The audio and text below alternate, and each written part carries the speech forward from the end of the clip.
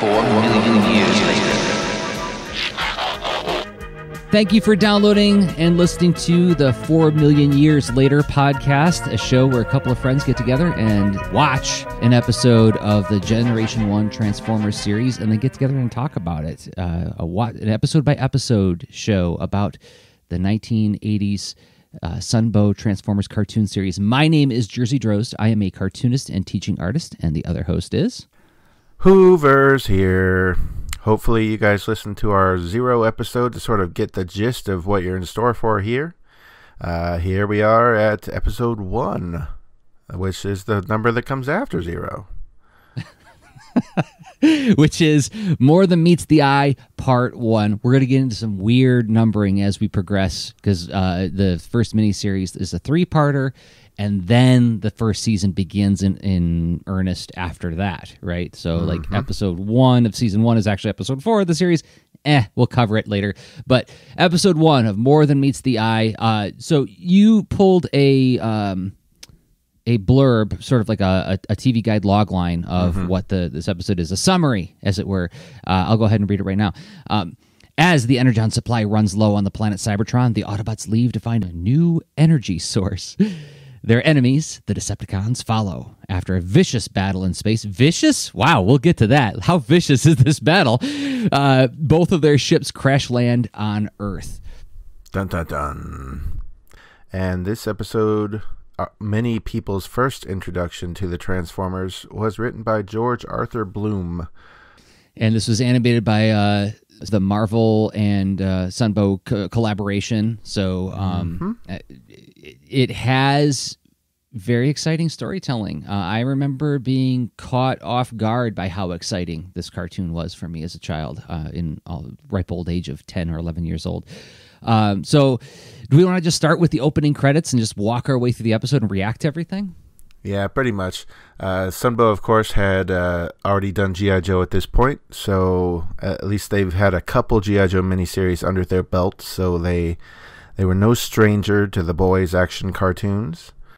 So here we are with Transformers, 1984, and what I really like about the opening is that not only is the theme sort of it's almost mysterious sounding like it's just i guess like the way it's sung and the way the voices are just sort of like sets the scene for the unusual setting you're about to get. Because at this point in history i mean it's 1984 robots were a thing. We've definitely had star wars for you know a good portion of the decade at this point. Um, but you know, a show about robots was still pretty new. And uh, they were clearly going to be the focus here rather than humans because in the opening credits, it's all robots all the time, nobody else. Mm-hmm.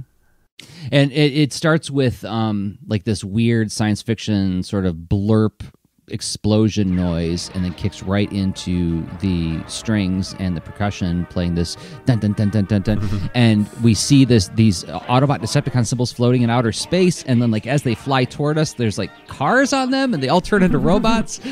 And there's like this cool 1980s like uh, science fiction grid, which was like it just I don't know why, but that look just seems to be married to the 80s. um, and then the logo pops up, says the Transformers, and then the, the logo flips. It changes from red to purple, and then the Autobot, the Autobot symbol next to the word "trans" turns into a Decepticon symbol. And then we fly down out of the sky. We see three jets transform, and they start. They turn into people. And that's what my grandmother always used to say. I'm gonna, I'm gonna go get you some of those cars that turn into men. they turn to people and they start running at us and they're shooting out of these cannons mounted on their arms and at the front of the, the it's the seekers and at the front of the pack is thundercracker Yeah. the leader of the jets if if you watch the opening only, you, you might get that impression pretty easily because not only is Thundercracker up front, but there's a lot of scenes with just two of the three seekers in them, and Thundercracker's in every single one. and you don't you don't always see Starscream. Sometimes he's just in the back. So it's like yeah I don't know if they were still deciding, you know, which of these guys is going to be the most prominent in the show, or it's just happy accident and the animators wanted to color in the blue one that day. Who knows? But uh, but it kind of is interesting considering how little we really get out of Thundercracker in in the in the season. In the series overall, really. Yeah, Uh, but uh, as much as and we both love Thundercracker. This is not a critique of the series. Yeah, Uh, but so I'm not complaining but- by any means. Now I know animation has gone a long way since then, but remember we've got to put this in its context. Up until this point, you know, Sunbow action cartoons, even Sunbow early action cartoons, weren't that exciting. I mean, Spider-Man and His Amazing Friends, great show, uh, not that energetic, right? Right. Before that, even you've got like you know the Hanna Barbera shows like the Wacky Racers, Huckleberry Hound, things. Like fun, not that exciting. This in in the context of this. Uh, I would have to say, like this and the opening to Mighty Orbots have to be like the two openings that, as a hmm. child, almost felt like an assault on my senses, because like because it is just it's it's thirty seconds of everything exploding and tr- guys turning from cars to robots and like jumping at each other. There's that scene where like Skywarp throws Jazz away from him in car, or no, he th- throws Jazz away. Jazz mm-hmm. transforms into a car, then spins around and jumps right back at him in robot yeah, mode. You know, they're shooting at each uh, other, throwing each other. It's like it's like pro wrestling, but with robots and Yeah, huge it- guns. I, I almost was like the guy in the Blipverts episode of the Max Headroom show. Like I was ready to explode watching this show. So yeah, it, it- it starts off on like a very strong foot of like, look at all the stuff that's going to happen in the next half hour. Ten year old me leads and goes, okay, I'm ready. I'm gripping the sides of the floor here. I'm grabbing handfuls of shag carpeting, and I'm ready for what you're going to do to me. Uh, Now, now, just as just as a quick uh, compare and contrast, what's the opening of GoBots like? It's not bad. It's not bad. It's it's not as as exciting as this. Uh, I mean, it, and I should also say another thing that like I think GoBot shares a little bit of DNA with Transformers. Uh, we're going to talk about music quite a bit when we talk about these episodes. At least I know I am because I, I'm fascinated by season one's soundtrack. Um, because it does this really cool thing where it's like part orchestral, but then it's got electric guitars and some synth in there too. It's the '80s. It was mandatory for synth to be involved. But like you go back just three years before that, and all action cartoons had full orchestral soundtrack. Right, Black Star. If you listen to the soundtrack of Black Star from Filmation, it was all orchestral. Lone Ranger, um, the Zorro show, uh, but then all of a sudden, like 83, 84 happens, and like He Man and the Masters of the Universe comes along, Thundercats comes along, and Transformers comes along, and it's like we're, we're getting synth more into this stuff, and it it makes it feel a little bit otherworldly and of its time at the same time, right? Because like I, I remember when that opening sc- uh, the score starts with the the opening credits with the the, the strings doing the dun dun dun dun dun, dun but then all of a sudden you hear that guitar uh, riff play or like a solo play while the Transformers logo pulls up on screen. um, so it it it feels. um yeah, i i that that stands out to me too. Is like so like GoBots has more orchestral opening. Transformers has that like guy going crazy on the guitar, which makes it feel more like. And I mean, when we finally finish this whole series and get to Transformers the movie, like I don't know, there was something about it. Like I had an older brother who was five years older than me. Well, I have an older brother who's five years older than me, and so he was like super into like Quiet Riot, Stryper, Def Leppard, Twisted Sister, and like I just remember thinking as a little kid, like that's what grown ups listen to. so hearing an electric guitar in the opening uh, sound soundtrack of the show made me feel like oh this is like suddenly we're in another play this is a whole other game than he-man and the masters of the universe right? Yeah. now we're like getting like you know this is a grown-up kids show. So so and then it, it I, I also want to note that the ending of the opening credits ends with a familiar motif that i love in cartoon opening credits where the good guys and the bad guys rush at each other you know they both fly to the mountain that the ark is crashed into at the end and they fly in from both sides and then the transformers logo comes out from the other side um, challenge of the super friends has yeah, the same motif That's, that's what immediately came to mind for me. I love that. I can't get enough of that. So, anyway, love that. Uh, and then all of a sudden, Transformers logo pops up on the screen. Then it goes to dark. And then what happens?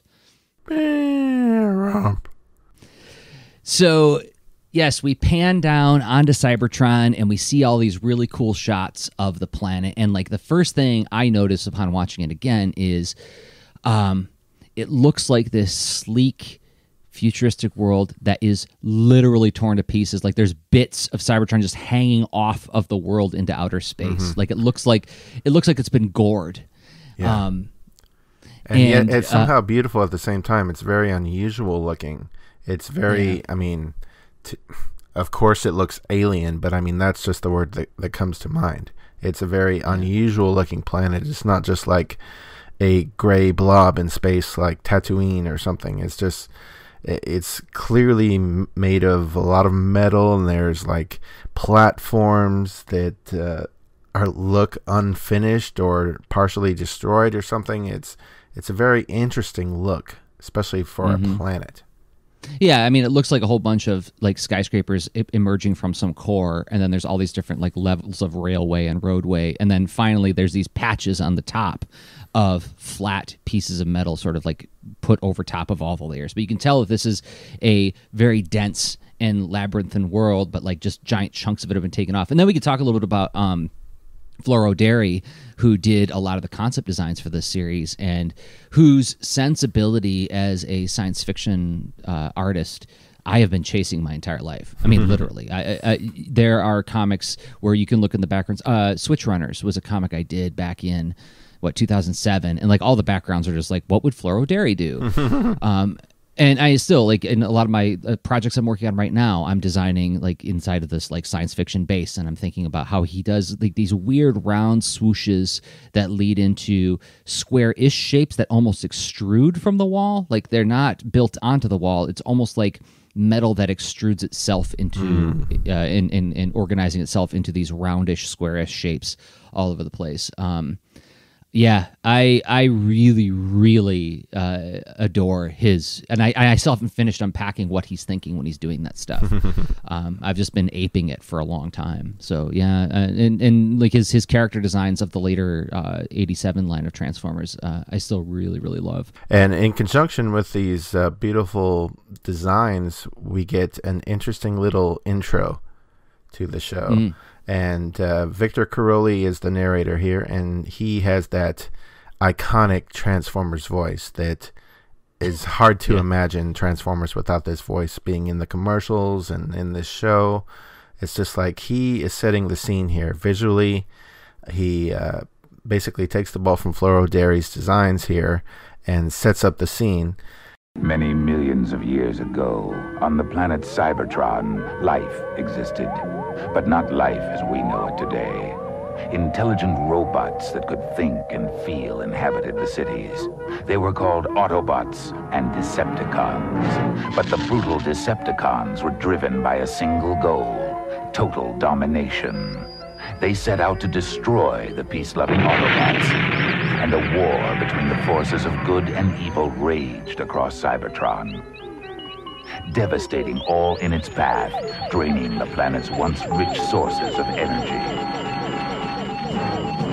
The Autobots, on the verge of extinction, battled valiantly to survive. It's clearly, to me, borrowed a bit from the whole Star Wars premise in that the good guys are at a huge disadvantage here. Um, that's something that was really made popular in science fiction by Star Wars at the time. So it's almost like Hasbro was like, you know what? It worked for Star Wars. Let's do that. Let's have the good Oh, guys yeah. be at a real disadvantage here, so that they're instantly likable and you care about them. So that's an interesting way to start the show. It's not just typical like, oh, we're the good guys and there's also these bad guys. They're struggling to survive. It's that sort of They're underground, yeah. Mhm, literally. Um, yeah, and uh, GI Joe, a real American hero, is they're the keepers of the peace, right? Right. They're the upholders of the law. They're on equal footing with the villains. Whereas in this, it starts out right away that there's an energy crisis, and the Autobots have to sneak around, right? Yep. So Wheeljack and Bumblebee are coming out from this like tunnel with these weird, uh, what look like fluorescent lights. Yep. Um, and th- these things apparently have a little bit of energy in them, and they're just trying to. Hang- they're like, okay, well, I guess this is all we can find. We got to take this stuff home. these um, are these are just the overhead lights from Wheeljack's lab. They're just fluorescent tubes. And if only he would have remembered to grab his Cosmotron while he was there. Oh, so a little bit of foreshadowing. when we get to that episode later on, divide and conquer. Okay, but yeah, so they um they you know load up, he transforms into his vehicle mode. Now we see that Wheeljack has a mode that, is, that doesn't look like what the toy in our lap has right now. He turns into this weird floating minivan type thing. Instantly, they show us that hey, these are indeed Transformers, as we just chanted over and over in the opening credits. Um, Wheeljack here is uh, brought to life by Chris Latta, and you have Bumblebee, portrayed by Dan Gilvezan, who recently had been Spider Man in uh, the Sunbow cartoon. And so these two characters are essentially our first introduction to Transformers, and they're on screen for like a total of like 10 seconds or so before Wheeljack transforms. So it's like they're not wasting any time, they're not beating around the bush here. Like these guys are robots and they can transform.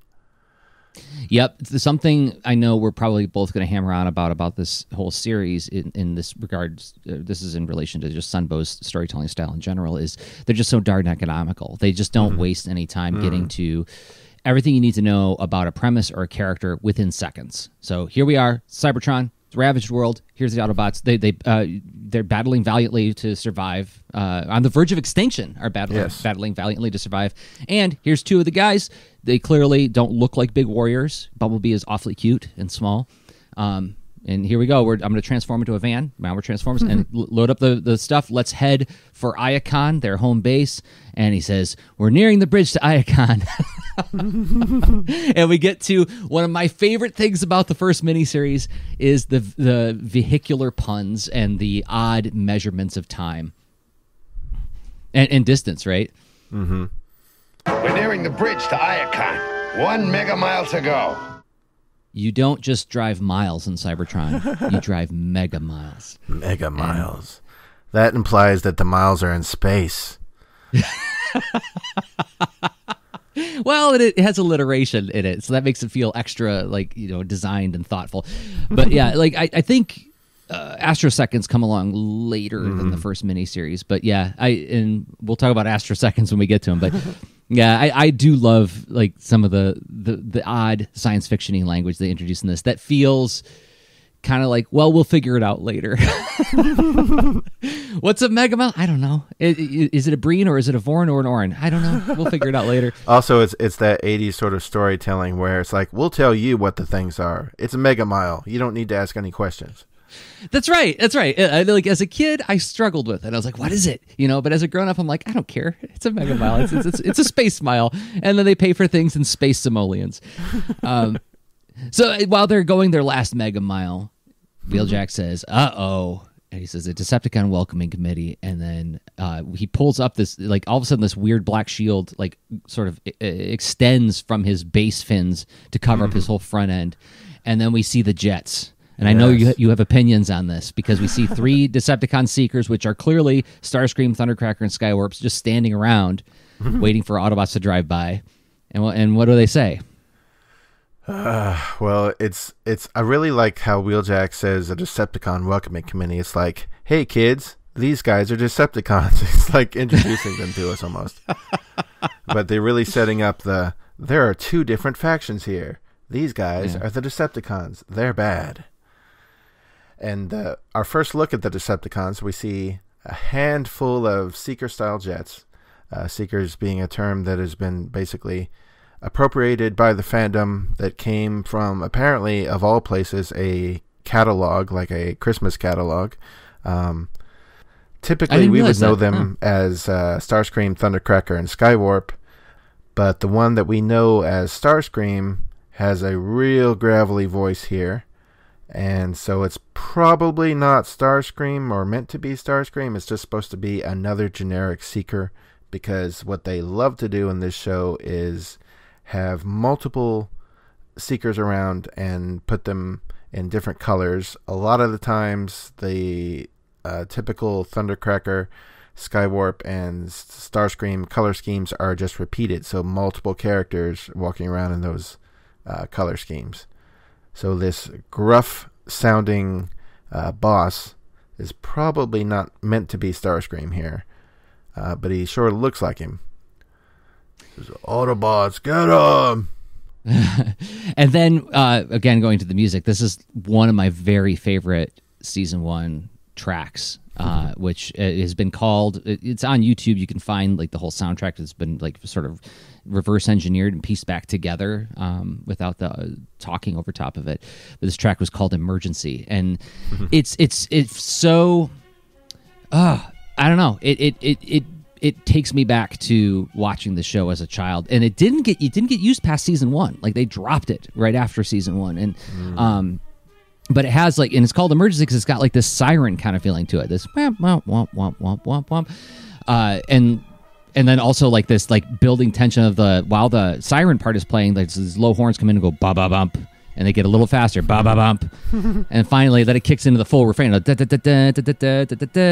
Yeah, and, that's when uh, Wheeljack says, you know, mind if I cut? Oh, well, before Wheeljack says, mind if I cut in, we get like three other colored jets show up. Yep. One, One, of them has a flamethrower, flame of all things. You think on a planet mainly made of metal, a flamethrower wouldn't be too uh, useful, but apparently it is.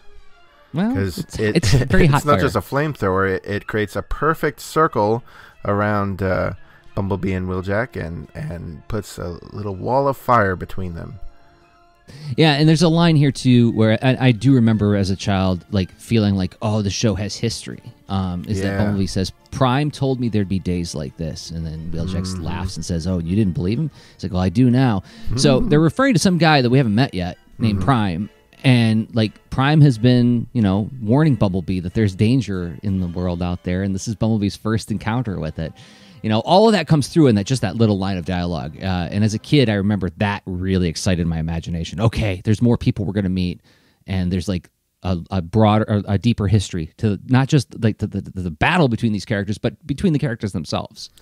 Yeah, which to me feels like a very maybe mature is not the proper word, but it, it's a very well told uh, intro to the series, I guess. Because I mean, if you think of say other cartoons uh, a little bit before this time, like Super Friends, say any of the Hanna Barbera type hero shows, this feels a little bit more serious and ju- just a bit more tense, whereas the stakes are higher.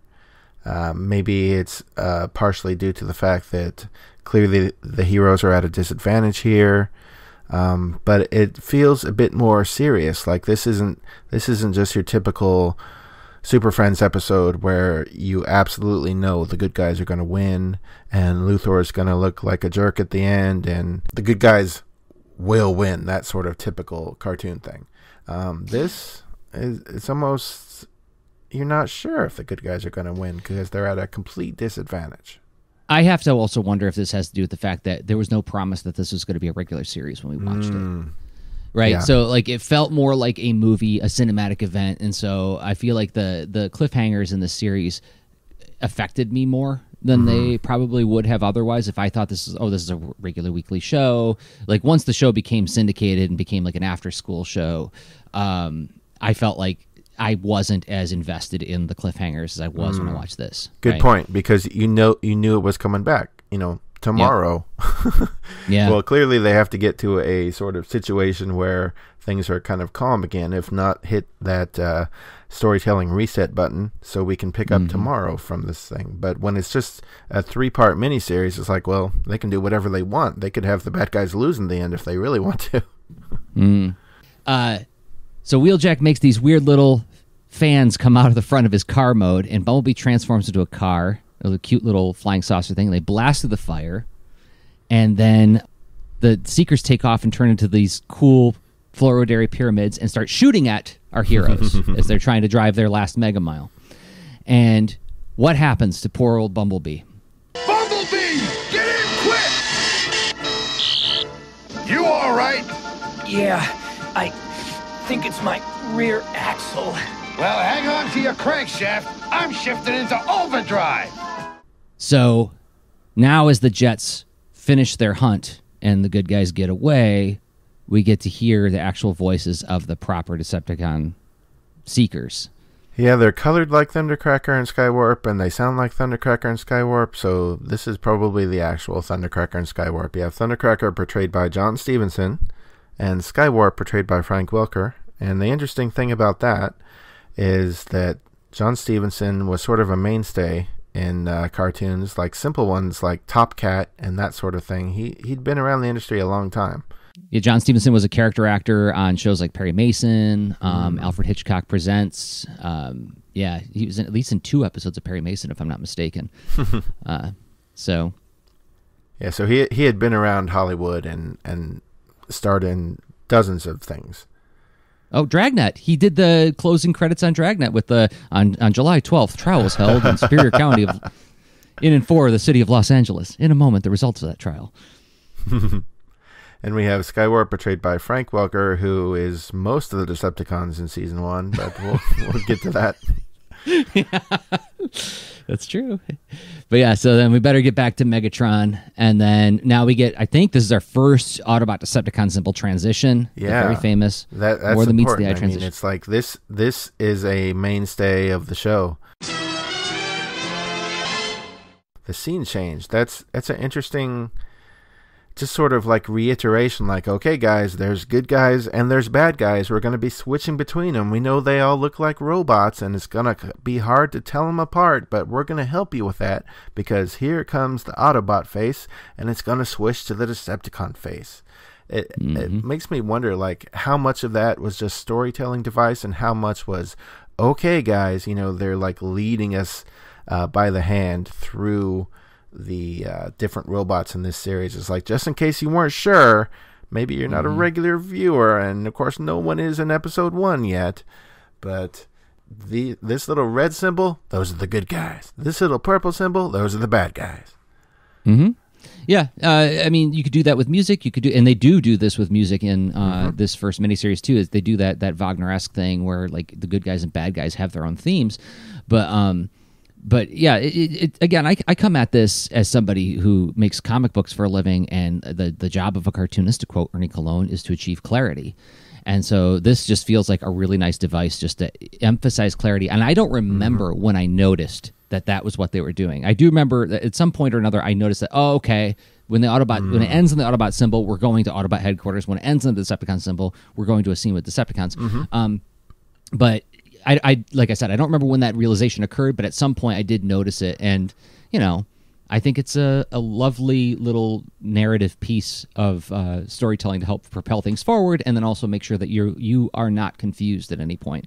It really is, and I can't think of like anything comparable in any other cartoon. I mean, there might be a little sort of dun dun dun dun dun moment, but it would just have like the logo. You know, it wouldn't be like it wouldn't be a transition from like good guy to bad guy. There wasn't anything comparable in any other show. It's kind of interesting. Yeah, like a visual thing that doesn't take much time, right? yeah. Like in, in the Super Friends show, you would have had the announcer saying, "Meanwhile, at the Hall of Justice." Right. But, yeah. But other, uh, but but it wasn't like a quick little visual flash. Just like that's trusting that you're paying attention. So that was good. So like it transi- transition happens, and then we see Wheeljack coming home to Iacon, and he passes by these two odd looking little things leaning over the road. These what are, what are those things? Well, I You know. always called them lampposts as a kid. they Okay. just seemed like uh, street lights or something. Maybe they were communication towers. Who knows? It's up for interpretation. They buzz right by, and then once they're past, one of them turns into a robot. Dun dun dun. so this is the first time we ever see Soundwave, Yeah. and uh, the guy's a lamppost. He's a lamppost who talks like an ELO song. Soundwave voiced by Frank Welker, probably the most iconic voice in all of Transformers. It's just as a kid, I think everyone sort of fell in love with that effect. Where it's mm-hmm. like, oh wow, he really sounds like a robot. Like like we all had a, a pre existing definition in our head of what a robot would sound like. So we're like, yeah, that checks out. That's exactly what a robot would sound like. yes, we all turned to each other in the audience and nodded authoritatively, like, yes, yes, indeed. Very much robot voice. And a, a, a nice thing they did is that he's a tape deck. He's a music character, even though he's the communications officer, which we'll get into more later. Because like it's like, wow, he sure has a lot of responsibilities for somebody who's only in charge of communications. But um, the fact that he turns into a tape deck and they, they added that vocoding effect. But in, especially in this first miniseries, they were very musical with it. Like the, the the the tonality of it changes a lot during his sentence, his his speech. Um, so like I that also connected with me. Like it, it's, it doesn't just sound mysterious and robotic and eerie because like you don't know how he feels about anything. He doesn't emote, right? Right. Um, but it also has that kind of like musicality to it, which makes him feel even more weird. Yeah, he's not talking like Wheeljack and Bumblebee were just a few minutes ago, or even Skywarp and Thundercracker. He's basically saying a lot of statements and facts and tasks he's doing. He's not emoting in any way. Right. Yes. Yes. Uh, Laserbeak eject operation. Uh, what was it? Uh, assimilation. I, I forget what it was, but he tells Laserbeak go spy on the Autobots, but he does it in this very, um, well, uh, like a, he's he's. It's almost like he's speaking code. He's speaking like if the if this then that commands to his. but he has this cute little guy come out of his chest. Yeah, this And- is the first we ever see of that, and that's an interesting little idea. It's like, it's like, oh, a bird came out of the man's chest. that that does that, that's worth stopping on and considering Right. for a moment that somebody came up with this idea that he's got all of his tapes inside of his body and he can just call upon them at any time to be like little helpers for him and that a that the character who would have a family of little friends living inside of him would be this mysterious weirdo with a with a And a non-emotional bad voice guy. Yeah. and a bad guy. Yeah. Like all of that together equals fascinating. And that's all of us kids leaning in, going like, why, why, why, why?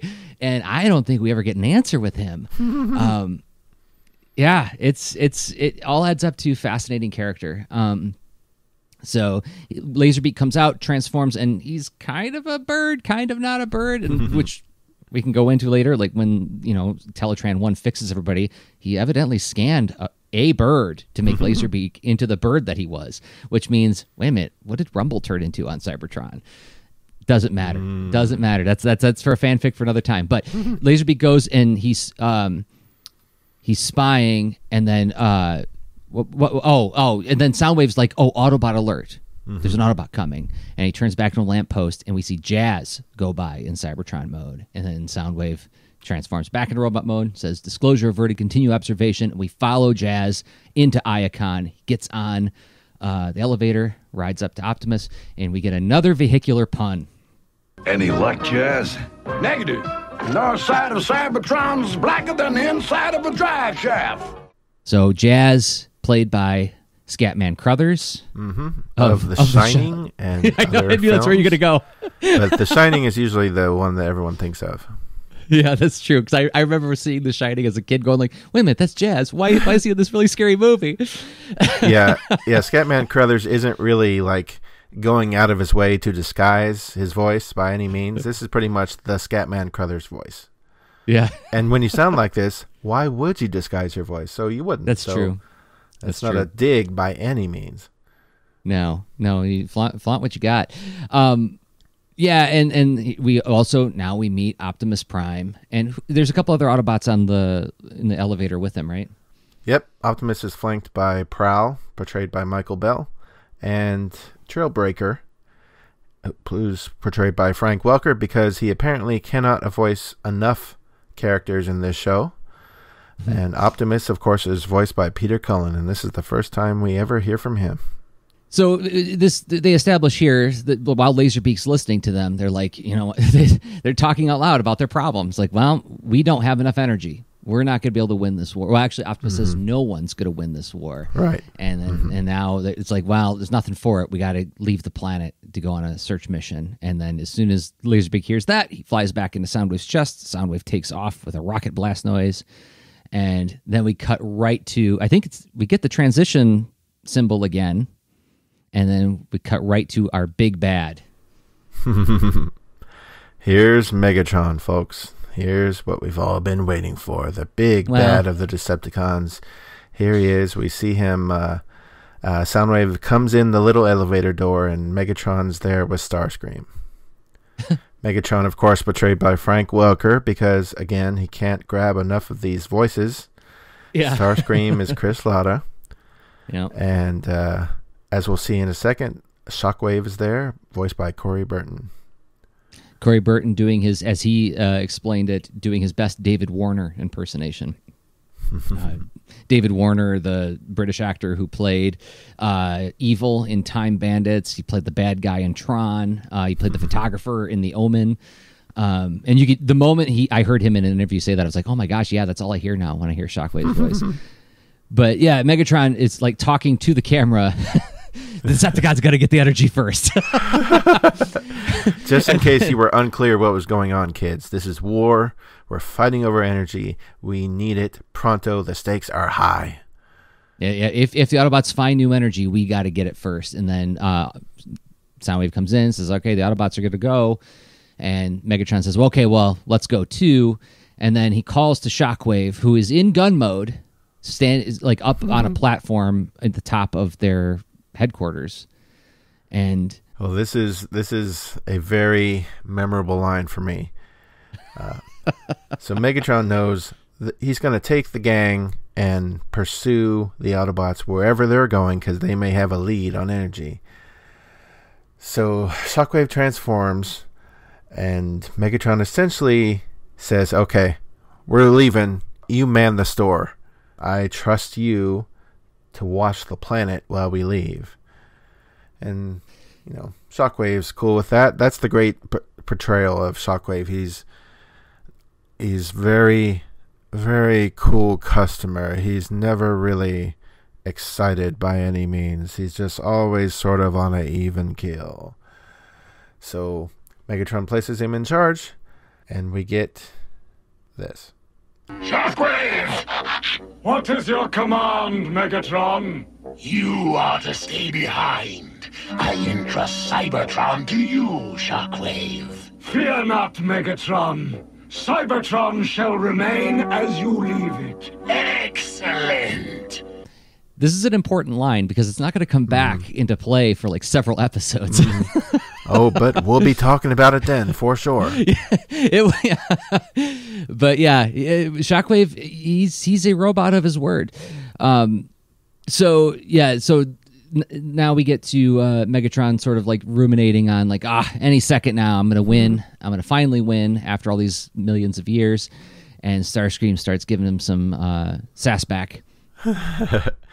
So instantly we're, we're brought into this sort of relationship where so far we've seen all the other Decepticons are pretty referential to Megatron and they do what he says and, you know, inform him and take orders and all that good stuff that you want in uh, an army. But Starscream, not so much. Yeah, th- th- this is one of the the key theses I picked up out of the show, which was whether it was intentional or not.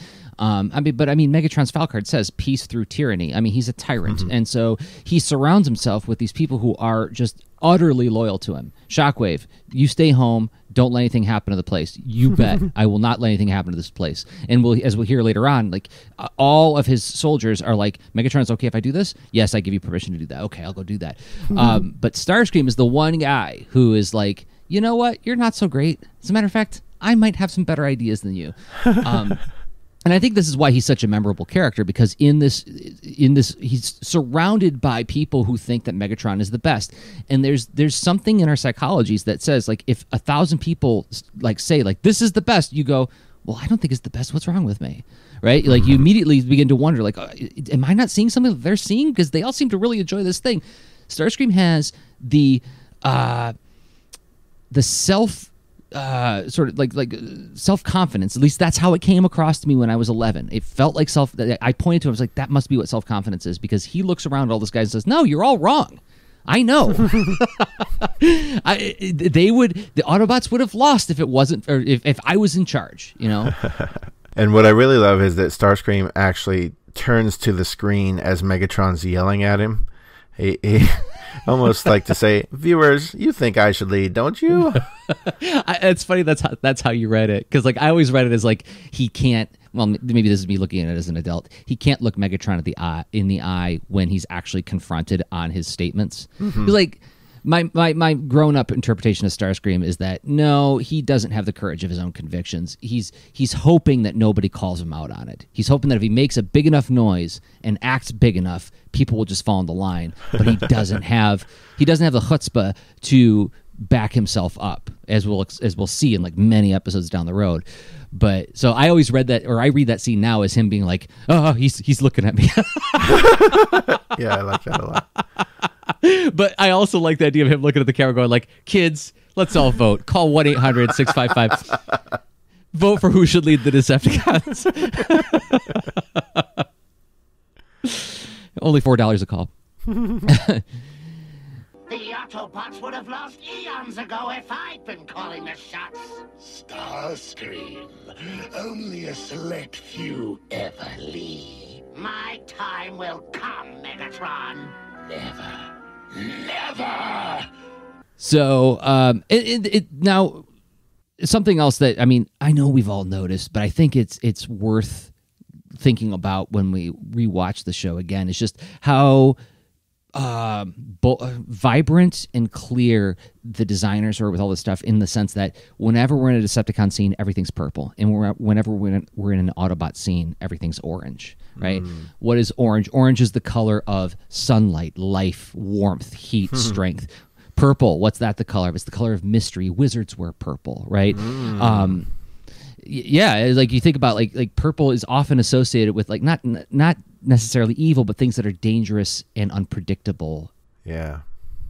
so like they, they're very, they were very clear with these color schemes to make us kids watching it going like well yeah those are good guys. Well why? Well i don't know. It's just you see it. You can tell.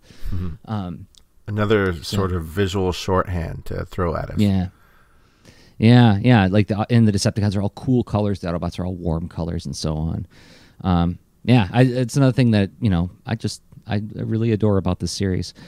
Um so after this fight megatron says like let's let's get ready to go. And we cut back to the autobots right? Yep, we have the Autobots in their shuttle, orange, of course, and they start taking off.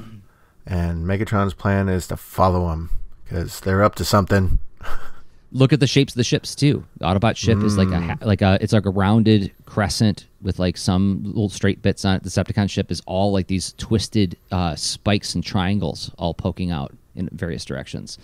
So even with the shapes, they're telegraphing like, okay, these are bad guys. We could tell because it's all pointy, and, you know. And the good guy ship is all roundy, and you know, round is more approachable. Anyway, Yeah, and we have a couple more Autobots uh, are shown to us for the first time. We have Mm-hmm. Mirage, voiced by Frank, Frank Welker.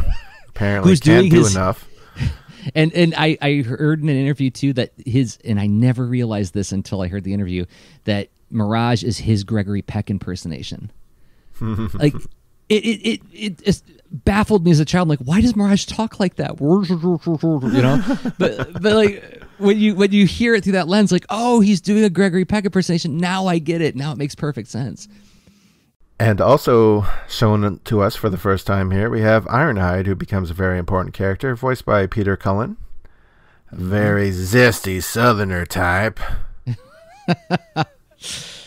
So this is where we get to uh, you know a, a story that's very similar in the cartoon and the comics is they encounter a meteor shower like like two as luck would have it poor optimus you just have all the worst luck uh, two giant meteors or asteroids crash into each other and explode into uh, an asteroid field or meteor shower as soundwave says it. Meteor shower, meteor shower. and uh and so this is a lovely okay something we're going to talk about a lot on the show is the kid logic of the show. I know this isn't how it would work where like optimus tells ironhide man the laser gun and just mm-hmm. fire and it just forms like this fire blast in front of the ship that just carves a path through the It, meteor it just shower annihilates anything in its path. It just it's just like the Photoshop erase tool. We just erased all the meteors directly in front of us.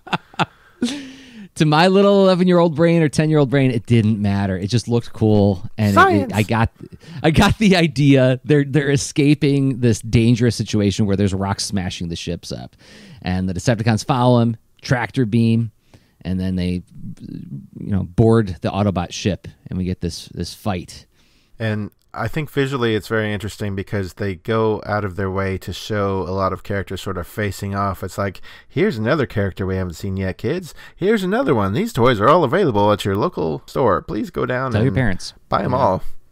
Mom, Dad, I need all of them. Yeah, so there's clearly a good handful of Decepticons, a good handful of Autobots. It's like wrestling broke out. Yeah, it's pretty much it's it's just like a bunch of fist fighting on the ship, and then all of a sudden they got caught in the gravity of this weird blue planet, and then the Decepticon ship, which is like linked to the Autobot ship with tractor beams, like spins off and flies off into the distance. Uh, see it? We don't actually see it crash, but it just flies away, and we see the Autobot ship tumble down. Optimus tries to recover the flight, but they crash into a volcano. Which is uh, apparently on Earth, and that's our first act break, right? If I'm not Yep. mistaken, that's the first cliffhanger. Correct. So the Autobot ship is crashed into a mountain. The Transformers will return after these messages. We now return to the Transformers. And so we come back from break and boop boop boop boop boop boop boop boop boop boop this this really like like kind of cheerful, almost mischievous music starts playing as we look at the mountain. It, like it, like when I hear the music, I almost feel like it's like this is the music that should be playing when Bumblebee's sneaking around and like mm. stealing Energon goodies. Um, it, it, it has like this little like uh, flute noise of like this, and then like there's this oboe, this, but um, we, we see the words four million years later appear on the mountain as like, the background changes. So four million years have passed. Volcano erupts. That's a lot to unpack. That's four million years worth of stuff to unpack. It's like okay, clearly, uh, what we were seeing on Cybertron was a long time ago. It's four million years ago. Why, from a storytelling point of view, does it need to be four million years? That's a big number. It's not like a million years later. It's four million years later what that feels like to me is like a placeholder. Like, uh, we'll go back later and figure out a appropriate amount of time, and then they just never went back to it, and it still says four million years later. I am not a Transformers historian, but if I remember right, the comic used the same time frame. Am I am I, I think you're right. I think so. So that ha- that leads me to believe that this was somehow in the Hasbro sort Mm-hmm. of Bible of the toys, like that, and that like some executive just came up with that as like, you know, a lot of time. It- you know, X amount of time, oodles of time happen, and then they wake up. Mm-hmm. Um, for for for me as a child, what that said to me is like these creatures are incredibly long lived. And they're advanced because back, you know, before even way before humanity was even like dumb caveman, these robots could think and feel. You know, it's like- Right. so they're far more advanced to us. And if we really want to get persnickety, go back to the line when Starscream says the Autobots would have lo- lost eons ago if I'd been calling the shots. Well, is he exaggerating, or does he really mean like he's been around for eons? Yeah. Right. Um. So now we know he wasn't exaggerating. These guys can live for a very, very long time. Or can they? Because that as we're listening to this cheerful music playing, we're panning across the the the, the bridge of the Ark, the vehicle that crashed into the mountain, and there's a bunch of like not just un- unconscious Autobots and Decepticons. They're like they're ripped apart. they're like it's it's like if, from a robot's perspective, this is like Saw Two just happened in this room. So yeah, there's that carnage, and then thankfully, that volcano they crash into it explodes, and Yeah. it exploding jars the ship enough to where the computer comes online. hmm Teletran One wakes up and and does a very famous line that we all remember. Explore! Explore!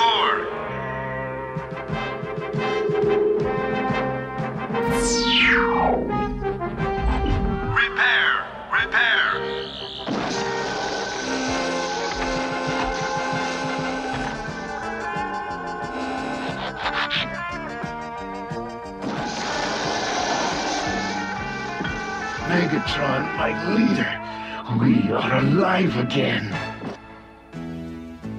Quickly, we must revive the other Decepticons. This was a very memorable line for me. I, I can't even point to why, but I remember as a kid a lot of the time going, explore, explore. Mm-hmm. I guess just because uh, Teletran, in comparison to the other guys, you know, those were robots. Teletran is, you know, a computer, but how different from that is a robot? I don't know. You know, it's I like- know. it's it's it's very splitting hairs, but uh, just just I I liked that line for some reason. Yeah, a lot of people I've talked to about the series over the years, like people who haven't engaged with it and since they were children, remember that scene specifically. And and the scene is Teletran One sends what we learn later on is called its Sky Spy, this little satellite that flies around the Earth and is exploring to look for compatible life forms to give the Autobots and Decepticons new alt modes, which I'm not sure why, except well, I mean disguise, which they talk about later. But I also have to, if I'm going to really like you know hypothetical and and interpreting what they didn't intend, um, the fact that whenever an Autobot gets hurt, they always ask, "Can you transform?" I wonder if vehicle mode has something to do with the healing process, right? Like there's some something built into them. Their alt mode is not just to provide them with a disguise and new abilities, but also like that's some kind of like um, form of stasis to help them their automatic healing systems work. See, kids, I told you we were going to overthink things. Yeah, I'm, I'm raising my hand over here saying yes. I'm the guy who was trying to write a uh, Palladium role playing module for Transformers so that I could role play Transformers with my friends.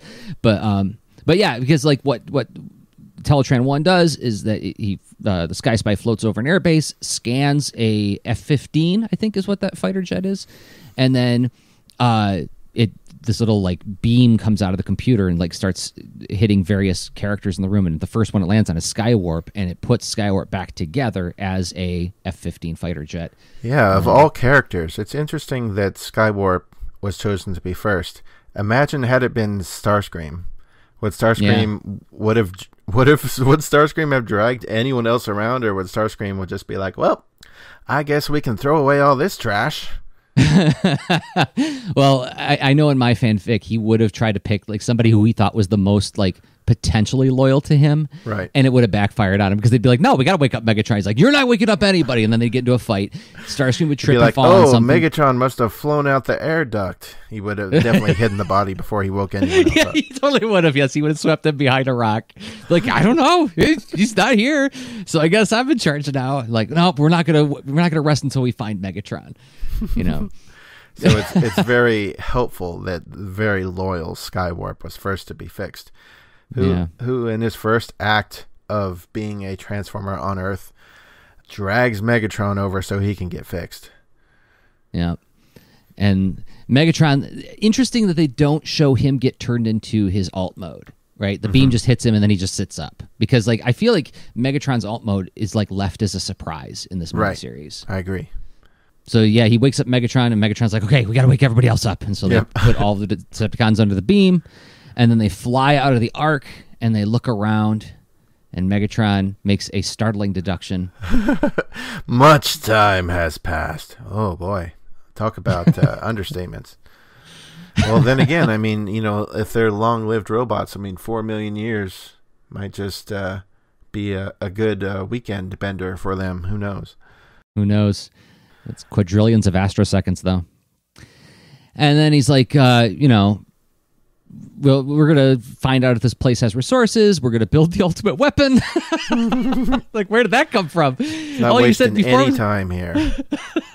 he, you know, he's been asleep for four million years, so they got to get in gear. That's right. That's right. Uh, so like before, I was like, we need a lot of energy. Okay, well, I get that. You guys are really low on energy, but now. I'm not only going to get a lot of energy, but we're going to build the ultimate weapon and conquer the universe. And as he's walking away, ruminating on this thought of how he's going to build an ultimate weapon, this is where we get to an observation about Starscream. Once again, uh, is that Starscream? I feel like the writers, whether they meant it or not, he is this statement of how the enemy of totalitarianism is the individual right? Because Starscream is always acting at. I, I don't think the writers were necessarily thinking this out loud. If they were, it was something that was happening in the back of the brain. They were just doing this as a job. It was a kids show. They weren't trying to make any kind of weird, um, you know, Orwellian kind of statement. but but but I infer this as somebody who's thought about this show for a long time.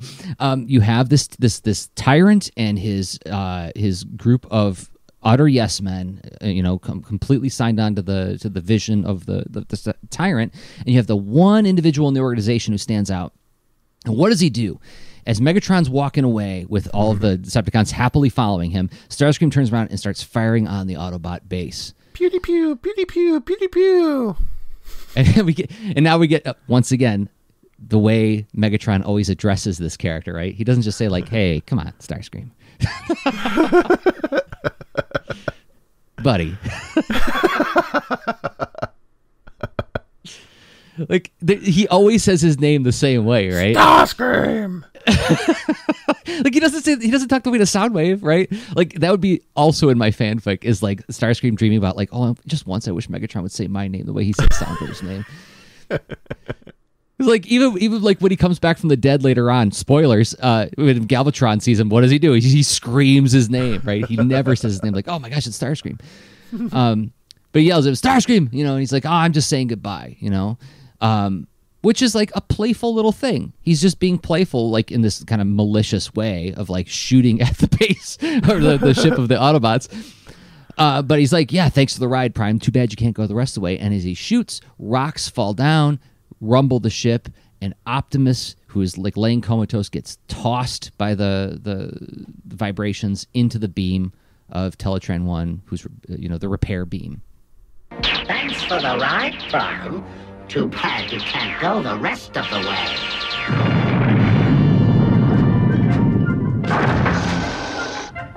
Explore! Explore! Repair! Repair!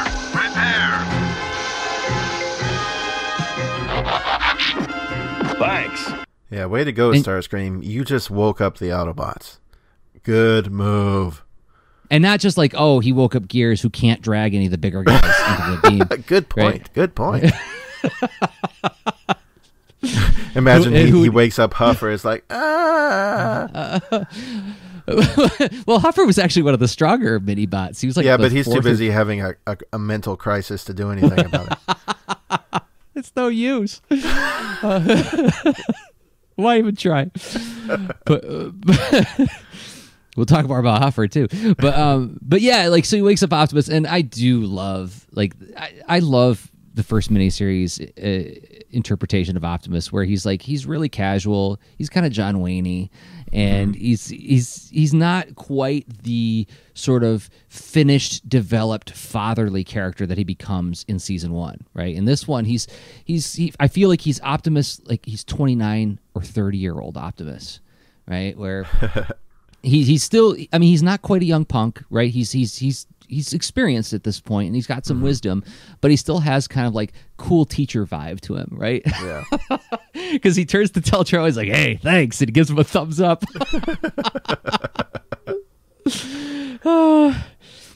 Thanks. so then we go back to the Decepticons, and uh, you know what is what is Megatron doing? They're wasting no time. It's time to let's let's build ourselves a little frat house. We we live here now, I guess. So let's let's build a house and we'll start to find energy and we're gonna get all the energy we need and the end. Because the Autobots are all dead. We're just gonna do whatever we want and no one's gonna boss us around. So he sends Starscream and Soundwave off to build a base, essentially. And then Starscream's like, well, I'll need some help. And then we learn that Soundwave has another little guy living inside him named Rumble. Yeah, and Rumble uh, is per- performed by another voice actor, right? Oh yeah, they they found a whole new voice actor for this. Some guy new to the industry. No, just kidding. It's Frank Welker again. I'm just imagining like when they're divvying up characters for this new show, Transformers. It's like I imagine like the voice actors are c- kind of like streaming into the um, the recording place, and you know, someone's like, "Oh, I think I'll take this character," and then I imagine like almost like little trading card uh, pictures of each character are available, and Frank Welker just like walks in. He's like, "I'll take this one. I'll take this one. I'll take this one. I'll take this one. I'll take this one too. I'll also take this one. I'll also take this one." And everyone's like, "Dude, what are you doing?" like he's cutting the line at the buffet. yeah. But can't argue with him. I mean, he does a spectacular job with everyone he portrays. So, Like well yeah, done. you can't you can't hear the similarities between Megatron's voice and Rumble's voice. no. Like they're, I they're- mean, they're Skywarp and Rumble, yes. Skywarp's Skywarp's just like Rumble in a couple years. yeah, So I yeah. mean, there, there's that difference between them. But, but I mean, if if they didn't tell you, you probably couldn't v- figure out that Megatron is Skywarp and is Trailbreaker, and you know all of that. He does Yeah. a good job differentiating his voice. Yep. So as they take off to work on their building the new base of operations, we cut back to the Autobot base, and we have Optimus uh, walking thoughtfully in front of all of his troops who are all lined up to say, like, look, they're all fixed. They're all here. Everybody's Mm-hmm. yeah, they're all fixed. They're all here. They're all available at your local store, kids. You can go buy any of these guys right now. Go do it. Parenthetically, at the end of every line of dialogue in the show is "Tell your parents, kids," Yes. because uh, uh, then he turns like, "Well, we got to, you know, the Decepticons got to like this planet's rich with sources of energy. The Decepticons got to know this, so we got to find them and stop them before they get it." So he says, "Hound," you know, and we meet Hound, who is played by Ken Sansom. Interestingly enough, he's the only voice actor who on IMDb from uh, the Generation One season one cartoon. He's the only one without a photo. Hmm. I did not know that. I don't know if he didn't work as much as the other guys or what, but uh, he was pretty much the only one there who did not have a photo next to his name. And then we see Cliffjumper portrayed by Casey Kasem, an 80s staple. That's right. Voice of Shaggy on Scooby Doo, America Top 40. Um, yeah. So, uh, and and here we're going to get to something that happens a lot in this first miniseries is where like Optimus tells Hound, "Go find them. See if you can locate the Decepticons." Mm-hmm. and Cliffjumper doesn't say, "Hey, Optimus, is it okay if I go too?" Right? He's like, mm-hmm. "I'm going too." yeah. and, and then so like Megatron is totalitarianism. Optimus is democracy, and democracy is like it's messy, right? Because like, like you get guys like Cliffjumper, like I'm going to, and Optimus is like, all right, I guess you're going. It's fine. I didn't say that for you to go. I didn't order you to go, but but if you're gonna go, just find them. Don't do anything else. Like as if he knows, right? It's like it's Right. like. Uh, uh, Darth Vader turning to Boba Fett saying no disintegrations. Like, Yes. j- it's exactly the kind of same thing. It's like, whatever you do, Cliffjumper, don't pull out a bazooka out of nowhere and fire on him. I won't. Fingers crossed. but but it, yeah, it's it's one of those things where he's like he's he's saying like, look, kids, you don't know about this guy yet, but I know about this guy. Yeah. He's got a hair trigger. He gets into trouble. Easy, cliff jumper. Just find him for God's sakes. Don't do anything else. Like you can hear it in his voice, right? So they take off, and then we cut back to Starscream and Soundwave and Rumble. Mm-hmm. And we have uh, Rumble talking for the first time. Mm-hmm. Someday I'll be giving the orders, Rumble. You'll do what I say. Look, Starscream, Megatron is strong. He's merciless. He can't be beaten. And you'll never be our leader. I will find a way. Everyone has a weakness. Yeah? Well, not Megatron. We shall see. Yeah, so so Starscream is very open about wanting to be leader. He's not hiding that little fact from anybody. He's And- he's the guy who can't wait for Christmas. He just can't stop talking about it. It's like Starscream. It's Halloween. You just we're not we're not there yet. Oh, I can't wait. But uh, we see from Rumble that he Rumble's view is that Megatron is too powerful. No one could take him down. Why would anyone want to try to take out Megatron? Yeah. Yeah, and I mean, Starscream even says like everybody has a weakness, and yeah, well, not him. I mean, so it's like once again we get this this reinforced idea of like all the other Decepticons really think Megatron is the best. He's the best. You can't you can't beat this guy. Don't even think about it. Stop thinking about it.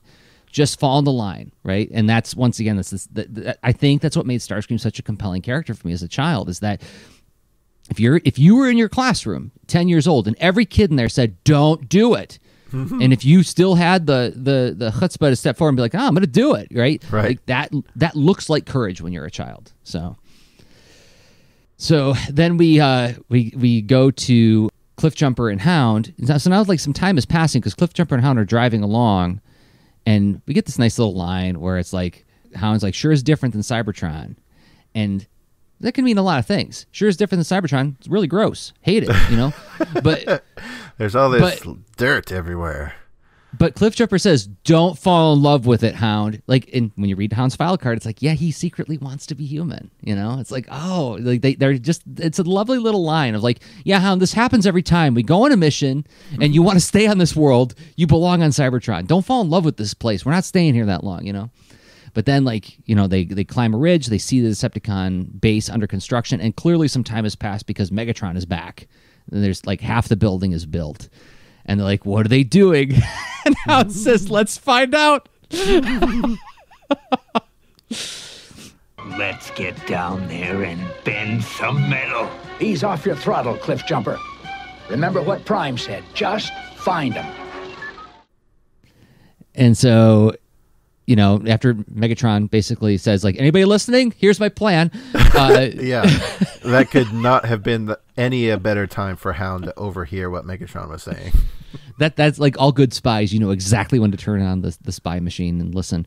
But um, you know, Soundwave says we can. Oh, hey, I got an idea. We'll make these things called energon cubes, which, um, you know, uh, uh, we as viewers didn't know about, but they're talking about it in a way that suggests that this is a new thing. Right? Yeah, it's like Soundwave has uh, copyrighted this secretly.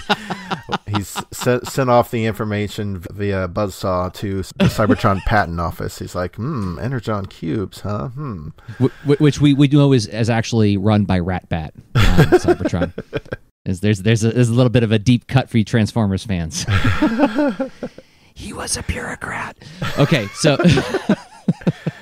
Yeah, so Soundwave comes up with Energon cubes, and he thinks, uh, you know, we'll store the store the energy there, and then we'll take it to Cybertron, and yay, we win. and then we get to one of the like probably most oft spoken lines by Megatron. And don't think I won't be counting them as we go. I'll be tabling up how many times he actually says this. Or will you or will Cyclonus? That's another deep cut right there. Okay. How ironic! By leading us to this planet, the Autobots have sealed their own doom. That's one. So this is too much for Cliff Jumper. Is that uh, that, that Megatron is making fun of the Autobots behind their backs, and so he pulls this giant cannon out of nowhere. Which I feel like that's the thing that Transformers can do, right? Like this, let's just accept the fact that Optimus's trailer goes someplace, Soundwave grows because he d- does something funny with his atoms. Megatron gets small because he does something funny with his atoms. They can do this. It's fine. yeah, they change shape and size. You know, it should be nothing to pull out a bazooka out of out of thin air, more or less. It's like if that's the hill you're gonna die on a, as a fan, it's like mm, there's plenty of better hills to die on. the the thing I keep coming back to is that these shows have a lot have have something in common with poetry. And if you take poetry literally, it mm. breaks, right? And if you the moment you ask how does Superman fly, you've thrown away something fundamental to enjoying what it's about. So and, and and and also there's no glory in like pointing out these logical inconsistencies, right? Nobody's gonna be like, Whoa, you got it. You noticed it. you figured out that there's something weird about this kids show that was being cobbled together by a whole bunch of people really rapidly in order to meet a deadline. Uh here, here's your here's your Nobel Prize. so it's a kid's show. He pulls out this giant cannon, and uh, Hound's like, "What are you doing?" He's like, "I got Megatron dead set in my viewfinder," and he fires. And he didn't have Megatron dead in his viewfinder. Apparently, Cliffjumper is not a sniper. nope, he's too excitable. And who could be firing on us? And I love that line from Thundercracker where he's like, "Who even knows?" knows we're here? He just he, he so sounds like like guys that I worked at Burger King with. You know, he's like, "Hey, hey, buddy, how's it going?" uh, then we get like you know it, Starscream again. The individualist is like it's it's got to be the Autobots. And then Megatron's like, no, it's not the Autobots, but they're the only ones. They have to be. So now we get to see Laserbeak in Earth mode. Send Laserbeak to go f- investigate, and he's launched. And Laserbeak chases Hound and Cliffjumper, and uh, what happens next? They, they they transform and run away, right? Let's burn rubber. What is that thing up there? I don't know, but we can't seem to shake it. Let's split up. It can't follow both of us. Right! At least one of us will get back to Prime. Accelerator down! Eat my dust, bird brain! And now we get to the second cliffhanger of the first episode. And this one, I do remember this one had an effect on me. So, like when Hound gets shot and falls off the cliff, and we hear the no, you know, and then it plays like the the scary music, the tense, the tense music, and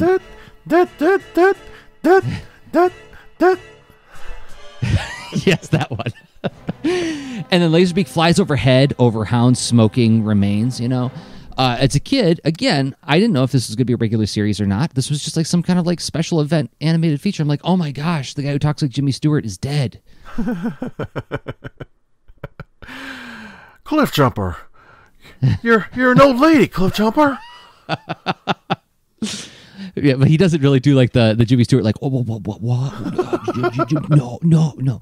He doesn't do like that stammering, but he's got like a little bit of a Jimmy Stewart vibe to his voice. But anyway, so we come back from commercial break and we see Ratchet's there, Cliff Jumper's there, and this weird orange construction vehicle's there. Yep.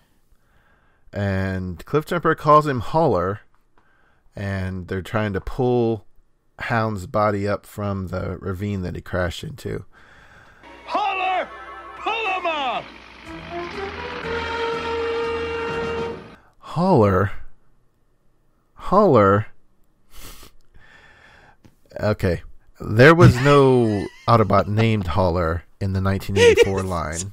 So I'm imagining like ten year old Hoover like flipping through his Transformers Right. catalog that came with right, the figures. I have going, the catalog right in but- front of me. but he's not- Sideswipe, I don't see- Streaker, Gears, Bumblebee. There's no hauler. What's going on? There's a huffer. There's a huffer, but there's no hauler. There's no hauler. There's no dad, mom. There's no hauler. There's no hauler. yeah, but he looks just like an Autobot that comes out in 1985 named Grapple. Right. So my guess is, and I've never read anything confirming this, but it seems like a, a originally Hauler, aka Grapple, was probably due to come out in 1984 rather than 1985. But there was just way too many toys already, and I would guess that uh, maybe uh, Reflector was sort of the same way. Mm. I would just sort of assume that Reflector and quote unquote Hauler were due to be released in the initial wave.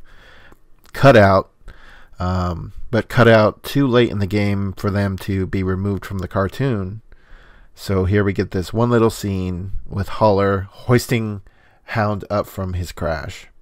And then Hound, we who never see dead. him or hear from him Again.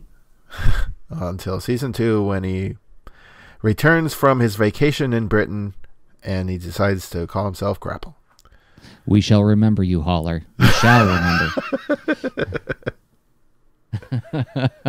So Ratchet is voiced by Don Messick. He was a very uh, uh, prolific actor in cartoons. You hear his voice in a lot of different shows. he was Scooby Doo, wasn't he? I think so. And he was, uh, yeah, he was like in a bunch of Hanna Barbera shows in the Super Friends series, and yeah. Um, so yeah, they take Hound is okay. He's at least he's going home for repairs, and then we cut to um, one of the weirdest Decepticons hanging out with Thundercracker. Uh, and I know you have boatloads of wonderings and theories on this character, but we cut we cut to like Thundercracker and Reflector just like hanging out, like on a rock, just like looking around. Yeah, but the weird thing about Reflector is he's not one guy. He's three guys. and he's not three different guys. He's three guys who all talk in unison as one guy. Played by Frank Welker. Played by Frank Welker. No, No. he's not. He's played by Chris Latta. oh, we had you going. Although Yes, it would this- be very understandable for Frank Welker to uh, grab up three additional characters who are actually only one character. This character is voiced by Chris Latta, who also does. Starscream. So he's he's basically doing the Starscream voice, but very monotone, and it's tripled. So he all three of them are speaking at once. Why is Reflector the one guy who does this? Well, I mean, obviously the toys came before the show. That's just what his toy was. Three robots who turned into one camera. That's just what it was. Maybe mm-hmm. that's the reason why they left him out of the first line because it was too weird and different from everyone else. I don't know. But the toy came first, so it's three robots who make one little camera, and that's that's another added weird thing to it. It's not three robots who turn into a jet. It's right. it takes three robots to make one of the tiniest alt modes ever. So that makes it even weirder. But in typical Hoover fashion, I sort of like in all my ruminations of Reflector, I wondered if I possibly could have stumbled upon a possible origin of why Reflector is like this. You know, it's just that dope Skywarp dragging everybody over to the uh, the little glowy place on the ark when there's when they're repairing everyone. So what if when he was supposed to drag over one person at a time, he was just like, I'm tired of dragging everyone around. I'm just gonna throw these three guys down at once. What if the way the Teletran 1 was supposed to work is just scan one person at a time, but then there's three robots dragged up there by Skywarp, and it's like, Teletran 1's not going to argue. It's like, huh? Three robots? Okay, I'll find an alt mode for them. So that's my exciting secret origin of Reflector. He was originally three different guys, but now he's been reformatted by Teletran 1 into one guy. And so, really, he's the first combiner. Yep. And that's my fanon. Well, I, what, what I love about most of your fan theories about this show is it usually involves one of the characters being lazy or irresponsible or inattentive. It's realistic. It always comes. it always comes back to like I don't want to do all that, and they do something else, and it causes this other thing to happen. Uh, but yeah, that it is an interesting. He is an interesting character in that, right? Like he is three transformers who have to work together to become one thing, and it's not even a vehicle. It, another observation about the original series is there are most of the cars are like everyday cars you would see on the street, which was kind of exciting in a way because like when I'd go on road trips with my brother, I'd be like, "Oh, let's see if we can spot Ironhide. There he is!" You know. Yeah. Um, but now, like in in more modern uh, iterations of the toy line, like they often make them more into eh, things that look kind of like modern cars, but aren't really modern cars. You know, like or have like a militaristic kind of vibe to them. Like Bulkhead in Transformers Prime was a military vehicle. You know. Ratchet turns into an ambulance, but he's kind of like I've, I've never seen that ambulance in real life. You know, it's like this weird like military ambulance. Yeah. Um, and you certainly don't see Transformers who turn into everyday appliances like a camera or a tape deck, you know? So th- I know that, that kind of adds to the fantasy mystique of this is that there's a guy who turns into a camera. Th- There could be a Transformer in the room with you right now, you know? Uh, but yes, uh, then there's we get this scene uh, scene where they're like Reflector and Thundercracker just like kind of talking about work. and I think it's also kind of telling that it's them. It, Yeah. it- this is also way reading into it, but it's like if there's any two Decepticons who, like the rest of the guys at the base, would want to like kick out of the base for a while, it's probably these two guys. right. Because there's the grumpy old man, and then there's the weird guy who talks in threes, and uh, let's let's send them on a mission quick. I do like that idea that like yeah like Thundercracker's like he's going out for a smoke break and it, like like and the reflector's like I'll come with you he's like oh I guess fine I get you want to gossip you want to gossip about Megatron sure I can't believe the Autobots survived. Hmm. Neither can Megatron. I thought he'd blow a fuse when he found out. Hey, what's that? Let's find out.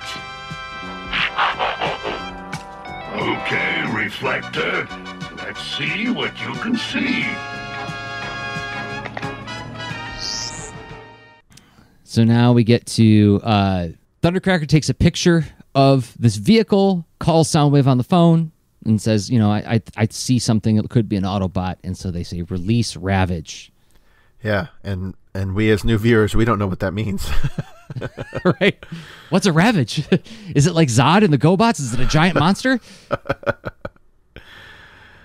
But no, Ravage just turns out to be yet another character voiced by Frank Welker. Only this one is another little guy who lives in Soundwave's chest, and this is a Jaguar. Yeah. And we cut to two like apparently construction workers. Most humans in the show at this point are construction workers. Um, and we get the two guys getting out of the car and like, I don't understand it, Joe. Played by Corey Burton. I don't understand it, Joe. Looks like a tornado hit this place. I. I don't like it. Something's wrong. Real wrong.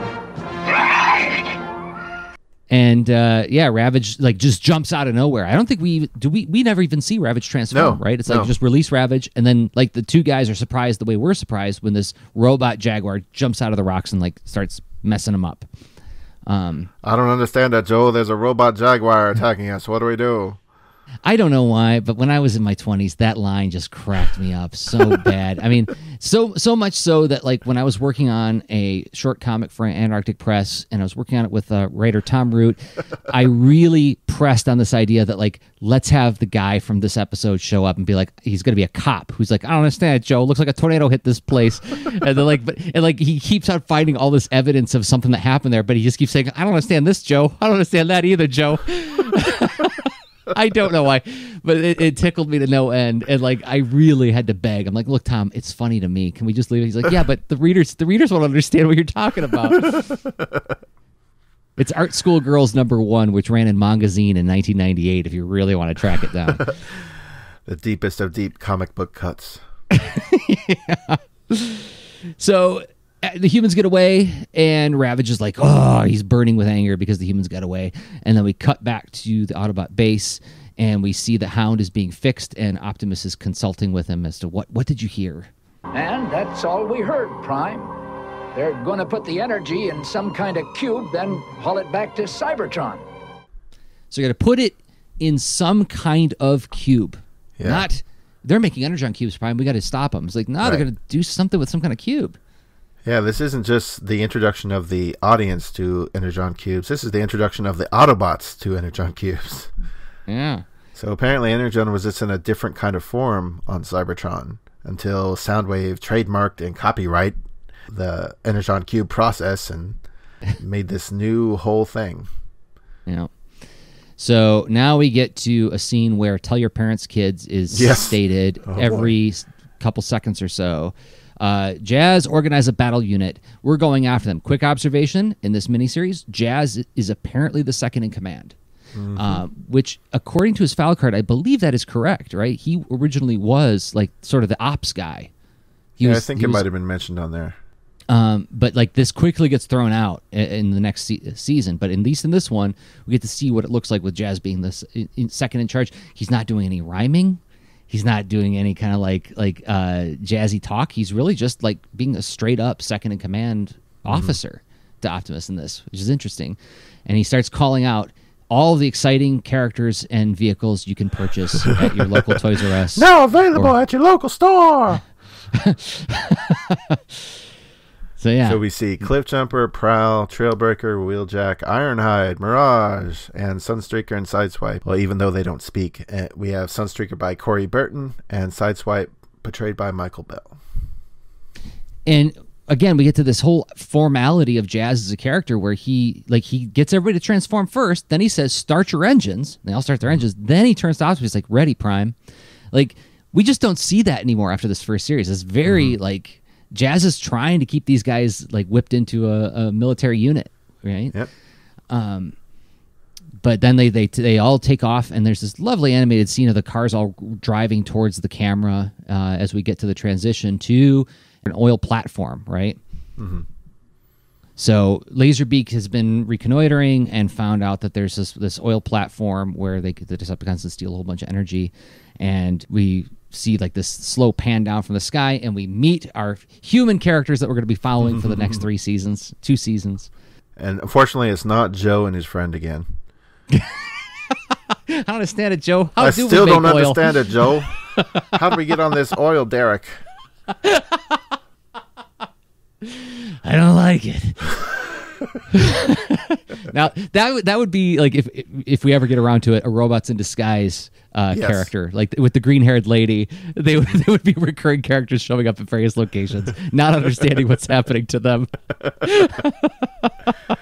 But this is not that. Instead, it's This is not just our heroes Sparkplug and his son Spike. Sparkplug played by Chris Latta, Spike played by Corey Burton. And they both work on this oil derrick together. Not oil derrick; it's an oil uh, drilling platform in the middle of the ocean. And Megatron and the Decepticons are flying down. He's a dive, dive, and they all land on the platform. And the humans very valiantly uh, repel them. Right? yes, humans use their vast powers to throw things at the giant robots. They've never seen giant robots before in their life.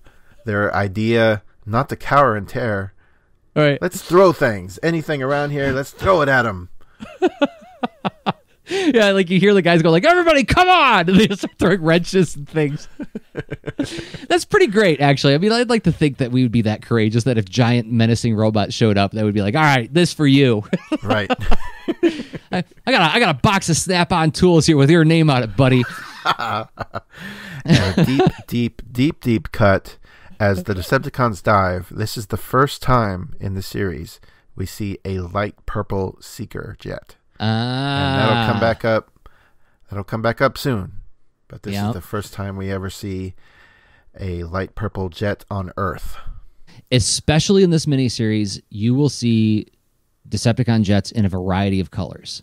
Uh, it happens less in season one, but in this one, uh, but but it still happens a little bit. But in this one, this miniseries in particular, holy cow, uh, purple jets everywhere. um, but yeah, they dive down and they uh, Megatron like just like picking up giant pieces of his construction equipment, just like throwing it at him knocking him off of the platform. Yeah. Um, Yeah, you, you literally see like a good handful of human construction workers like sail off the barge into the uh, into the water below. Yeah. And maybe they die, maybe they don't. Who knows? yeah, this this series more so than GI Joe, uh, like left the fate of human life a little bit more ambiguous, right? Um, in, in there's another episode coming up that we're going to talk about where like it, they cut it in just such a way where it's like, ooh, I think those guys got blowed up, but they just didn't show it. Um, but like this, yeah, he takes this gigantic piece of conduit, like tubing, like like the size of a person, like it's as tall as a person, as wide as like two school buses, and just throws it at him, and they like tumble over it as they fall off of the oil platform and Yeah. fall into the ocean. And then we cut to um, Sparkplug, who's being like choked by Rumble. we always knew Rumble was a little guy because he came out of Soundwave's chest, but we never really had a comparison shot until now. We see Rumble is like six or seven feet tops. So he's basically basically like human size, so he's able to basically take take on Sparkplug and Spike in traditional like fighting rather than uh, whipping out any lasers. And so Spike very bravely runs up to this robot and punches him in the back of the head, which doesn't do anything because he's made of metal. And Rumble just like turns around and is like, yeah, get out of here. And Spike falls in the water. And then Sparkplug goes after, like pushes Rumble off him and goes after Spike. And then, yeah, he's got a very, he's got a very uh, wet mouth as he says. Spike! Then Megatron turns to Starscream and gives a command that gets used a lot in this miniseries and sort of lot. drops off the map afterwards. Starscream, activate the null ray. Now!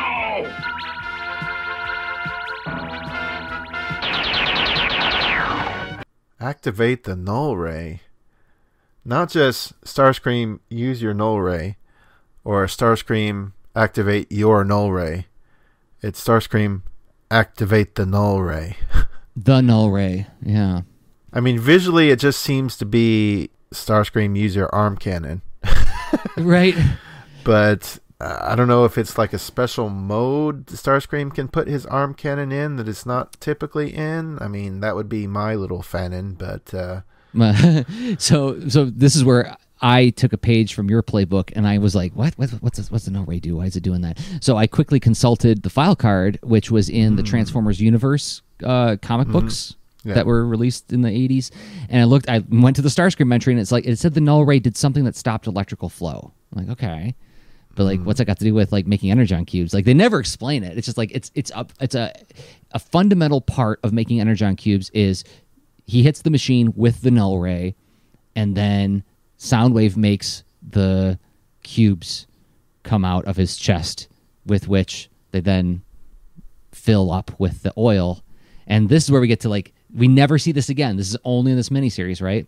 They they fill the cubes with the oil, and then what do they do?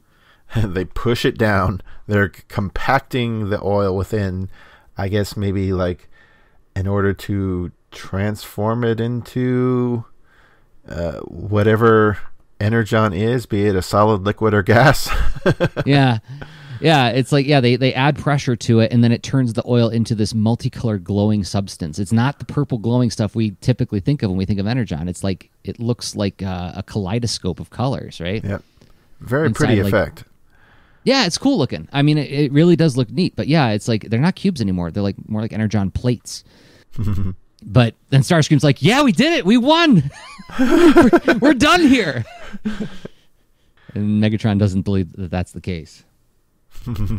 so, like, he he basically says, "What?" He's like, "He's like, uh, well, this is if this is like one location." How much more does this planet have, right? And now I'm in greedy child mode, where I'm going to be like Gustav from, uh, you know, Willy Wonka, like uh, uh, too much is never enough. We're going to drain the whole planet dry, and then the, the individualist Starscream, ever looking around, never being content with with himself, notices that the Autobots are coming. It's and the Autobots. Who are flying. We Yep. got to talk about this because this is an important thing that that changes between this uh, these episodes and the other ones. Is the Autobots are flying to the the scene. I guess they realized that the Autobots could not drive to a, a oil platform in the middle of the sea, so they were like, "Hmm, let's have them fly." But but they're Autobots; they can't fly. Shh, shh, shh, cartoon, cartoon.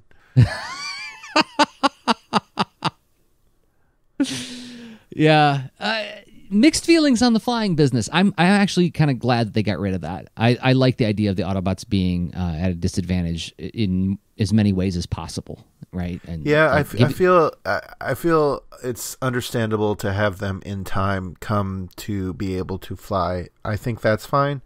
But here they are flying through the air, no problems whatsoever. and Megatron. This is where we get our big reveal, like right at the end of the episode, of like what is Megatron's alt mode, Yep. and he t- turns into a Walther P38. Mm-hmm. but robot sized. So he turns into a gun and lands in Starscream's hand, and Starscream fires on the Autobots. And Starscream is about as good as a marksman as Cliffjumper was, and so the Autobots just sort of move out of the way.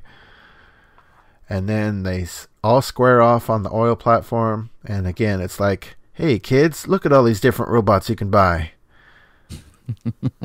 yeah, there's a lot of a lot of fist fighting and and hand to hand combat happening on the oil platform, and then Megatron like pushes Optimus away, right? Like he transforms back to robot mode and they start grappling, but then mm-hmm. Megatron pushes them away, and then he like shoots out one of the legs of the oil platform, right? Yep. So you have Megatron blow up the platform, and he's like, you know what? Why do we got to wait here fighting when we could just split with our ill-gotten gains? Yeah. From a storyteller standpoint, there's a really lovely shot here where he shoots out the leg of the platform. The Autobots all spill into the ocean. And then Megatron says, Here's something to keep you warm. And he shoots at one of the big oil uh, containers on the platform. It explodes, like another one nearby explodes. And this, there's a shot of like a, a three quarter up shot looking at Megatron as he laughs at them. And then the fire is like sort of overlapping his face. It's like this hellish kind of image of Megatron rejoicing in the death of his enemies, right? Yeah, and that's And all- that's the great thing that they're portraying here is like Megatron is not just out to serve himself. He's gonna revel in defeating his enemies. He's gonna get a lot of joy out of it. Yeah. Yeah. That's the kind of villain this guy is. yeah, with that with that famous famous laugh. It, it's it's even hard to imitate. It's got that like that. It's almost like a giggle, but it's like a, mm-hmm. a devilish giggle. Yeah. So, and as they fly away with the Energon cubes, Optimus and the other Autobots are floundering in the water, and then they hear a noise that will become part of the punctuation of the Gen 1 Transformers series from now until Doomsday.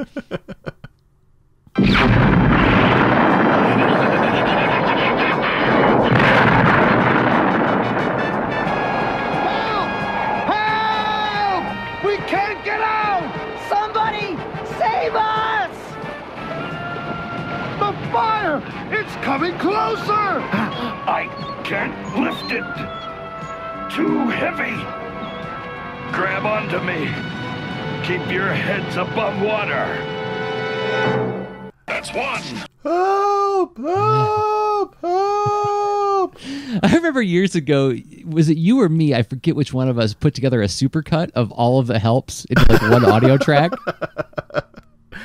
I don't remember, but I think I think we're definitely going to do it as this podcast progresses. There's a lot of help, help, help. But uh, I mean, after all, they're trapped underneath like this giant uh, metal frame in the ocean, and there's burning oil on the surface of the water all around them. Um, yeah, I think it's fair. I think it's it's reasonable. It's definitely a situation where you could reasonably be expected to yell for help. yeah. And so Optimus can't lift it. It's too heavy. He's like, hold on to me. Try to keep your heads above water. And that's the cliffhanger. The Autobots in the ocean that's on fire. and all and there's all these little humans that are trying to trying to survive and you know and the Decepticons got away with all the energy. Yep. Um that th- this feels like th- they just teed up. This is what the show is going to be about from now on. It's going to be about the Autobots always being hamstrung by the fact that they are ethical and moral and have to, you know, uh, do the right thing. And Megatron will always have the upper hand because he's surrounded by guys who will do exactly what he wants, and he has no scruples, and he will jeopardize whoever he needs to in order to see his his means come to an end. And his only weakness is Starscream. So that tees up the entire series here. We have the end of episode one, More Than Meets the Eye, part one. I think brilliantly executed intro. I mean, it basically sets sets up the plot of what the show is Mhm. going to be about, what's going on with all these characters, what are they doing, what are they like. As far as uh, introductory episodes go, I think it's pretty amazing.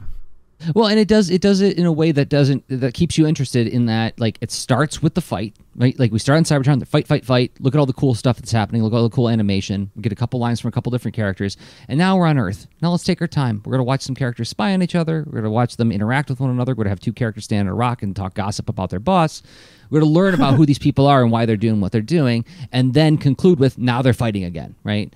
It wasn't just th- 21 minutes of battling. It was like actually the battles are pretty short but they're um but they're they're spread out in just enough places so that like as a little kid you'd never get tired of what's happening. And the characters are really vibrant so that like you you get everything you need to know. Like well here's soundwave. He's really mysterious and strange and he has these people who live in his chest. Here's reflector who is a super oddball um, that makes you wonder what the deal is with him right Yeah, it's that thing that Sunbow did so well with G.I. Joe. It's like, let's have these characters immediately come across on screen.